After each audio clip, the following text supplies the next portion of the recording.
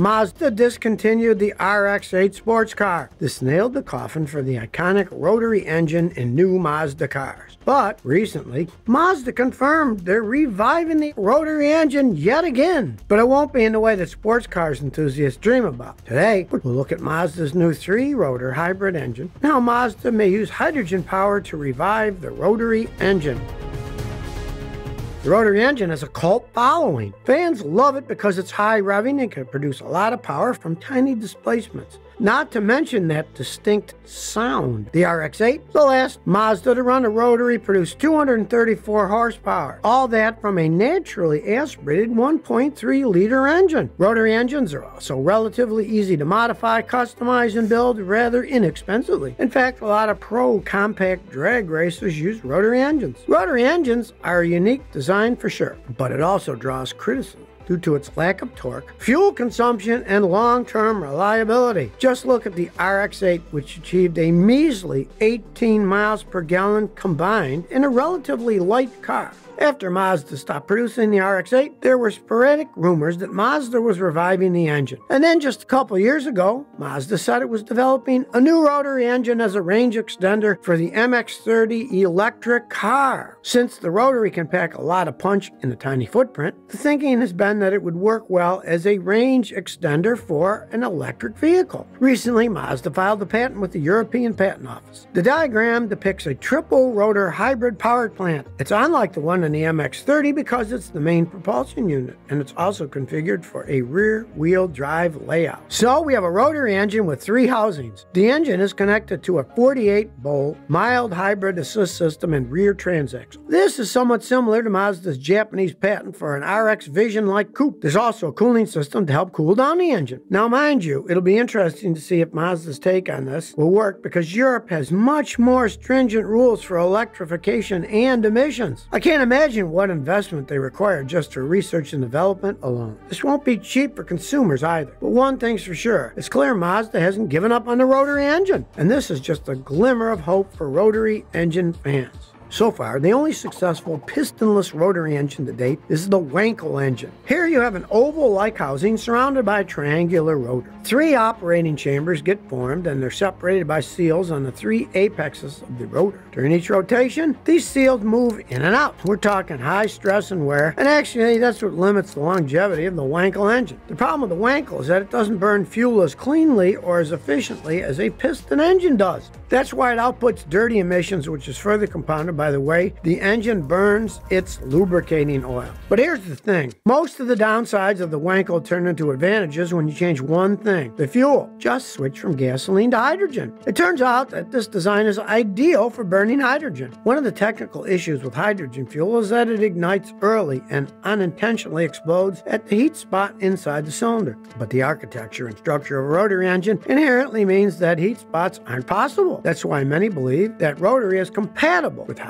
fuel. Actually, Mazda dabbled with hydrogen rotaries with a few other cars before. In fact, Mazda had a dual fuel version of the RX-8 called the RX-8 Hydrogen RE, and it could switch on the fly from gasoline to hydrogen and back again. This was back in 2003. It had a twin rotor rotary engine that ran on hydrogen or gas. Not many people know this, but this was the fifth car that Mazda fitted with hydrogen Wankel engine. When it ran on hydrogen, it produced no emissions. Instead, you got only water vapor. But it turned out to be a limited production car. It was only sold in Japan just for a very short time. In 2009, Mazda released the Mazda 5 Hydrogen RE Hybrid. The drivetrain was taken from the RX-8 Hydrogen RE. Mazda increased the power by 40% and also increased the range. A two-rotor RE Genesis Wankel engine combined for a 30 kilowatt electric motor. This vehicle was produced in small numbers in Japan for demonstration purposes. Nevertheless, it's proof that Mazda's done this before, and not just once, a few times. Recently, there were rumors that Mazda Mazda's working on a new hydrogen rotary engine. That's interesting, since most car companies are prioritizing battery electric EVs, but Mazda's following Toyota and betting on hydrogen. But not only that, they're back at the hydrogen rotary engine. It's clear that Mazda has the technical capability to build cars. The problem is, is it financially justifiable? This kind of powertrain is destined to be quite expensive. My guess is it'll probably be reserved for limited edition models only.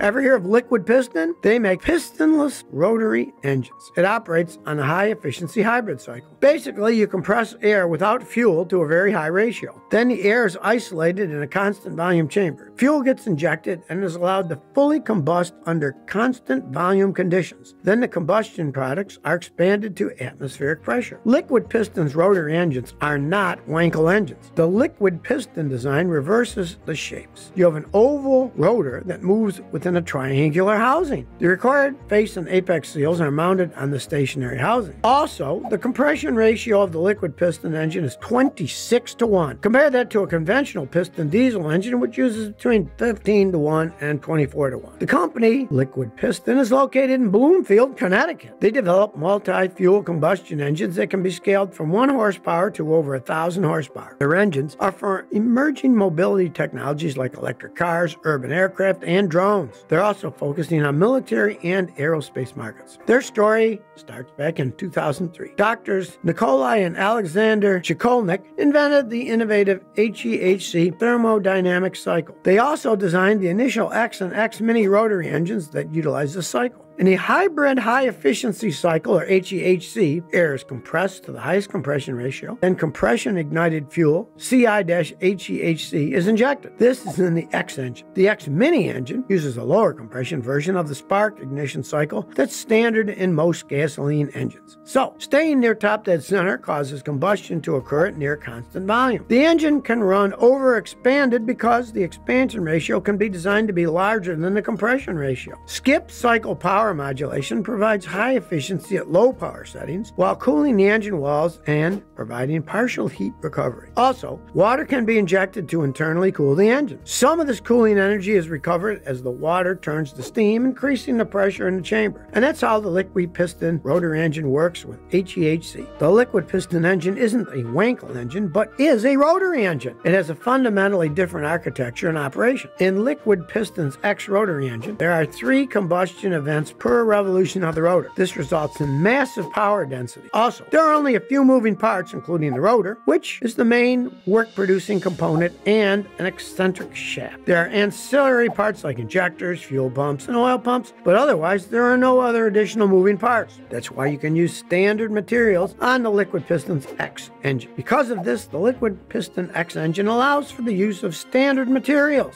So, what's the difference between the Wankel versus the liquid piston engine? Well, the Wankel engine is known for its excellent power, weight characteristics, and low vibration, even at high RPMs. But despite these benefits, the Wankel has always suffered from poor fuel economy, emissions issue, and durability issues, especially with the apex seals going out. All these problems are inherent to its architecture and mechanism. First, the narrow combustion chamber prevents adequate flame propagation. Also, it has a high surface to volume ratio, which cools the charge and reduces engine efficiency but the Wankel engine is poorly sealed. This leads to significant gas breakthroughs, which also reduces efficiency. The engine also runs on the same conventional four stroke spark ignition Otto cycle of the piston engine, but there are inherent problems when operating with compression ratios greater than 10 to 1. In addition to being difficult to seal, it's also difficult to lubricate. Oil must be injected into the charge, with most of the oil being burned in order to lubricate the gas seals. And of course, that causes pollution. Unlike the Wankel, the liquid piston X engine doesn't have a three sided triangular rotor and an oval body with two lobes, but an oval rotor with two lobes in a three sided housing. The combustion chamber is located in a fixed housing, most of the gas being forced out by compression into this fixed combustion chamber. This makes the X engine suited for high compression direct injection and compression ignition operation. This isn't possible in a naturally aspirated Wankel engine